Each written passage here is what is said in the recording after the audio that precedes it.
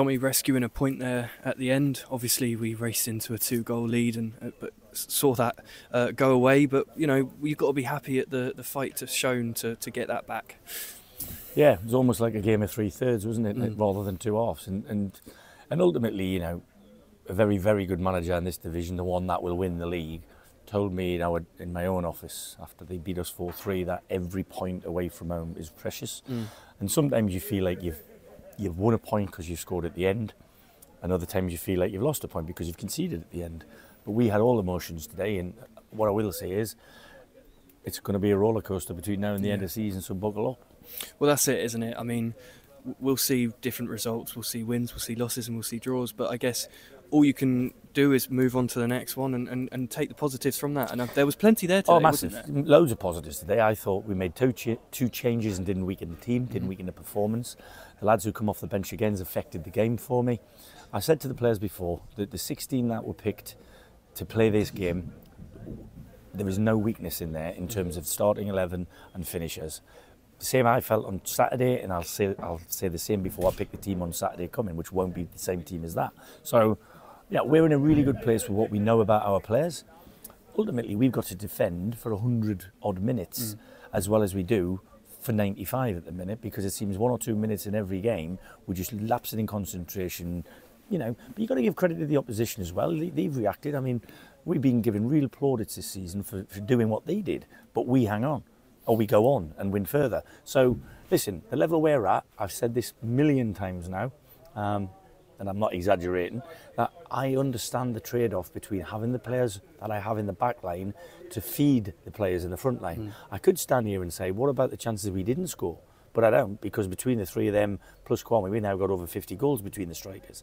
So it's, I always look at the whole picture, as you know. Um, and I could pick out individuals who had great games. I felt I was probably eight or nine of our lads. I thought had really, really good games. So, yeah, I'm, I am actually going away home, uh, going home happy with a point on the road. Um, you know, we took four from two last week. If we can do the same this week, that's on course for where we want to go.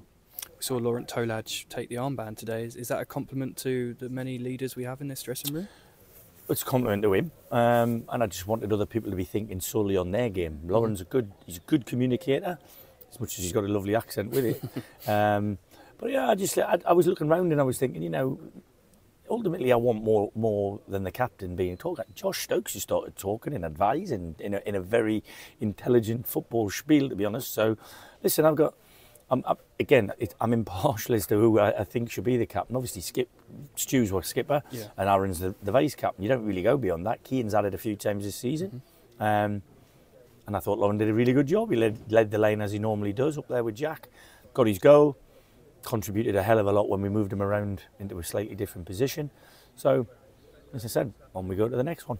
Speaking about the goals, you know, you, you said previously that you want to give Kwame Thomas good minutes, yeah. but then when you look at you know Jack Barham, Laurent Tolaj, and Kwame Thomas scoring, it's it's yeah. got it's, it's hard to pick all three of them, isn't it? Well, it, I'm trying more and more to get as many forwards on the pitch as I can because mm. I genuinely need, feel we need to outscore. Mm. Now, in the last 10 minutes, when we were trailing by the one, and I had both Kwame and Josh Barrett on the pitch, along with Laurent, Josh Stokes, and Jack Barham.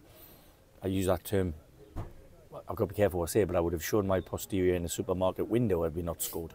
And if the game had gone on for another four, three or four minutes, which I think it should have done because of the, the time, you know, I don't get where's this 11, 12 minutes at the beginning mm. of the mm. season gone? Yeah. You know, we're now three minutes and four minutes. When we want a little bit more time, or we're expecting it, we get three or four. So, look, I'm going to bank this point get in my car, think a lot on the way home about you know what we could have done better. Could we have could we have done anything different as a coaching staff? I'm not sure we could.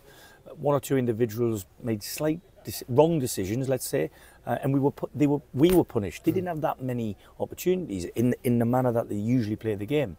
They've played a way to beat us or to try and beat us, but it's probably a little bit alien to them. So, you know, I think we opened them up a hell of a lot and our forwards are probably a little disappointed that they haven't scored uh, more goals individually.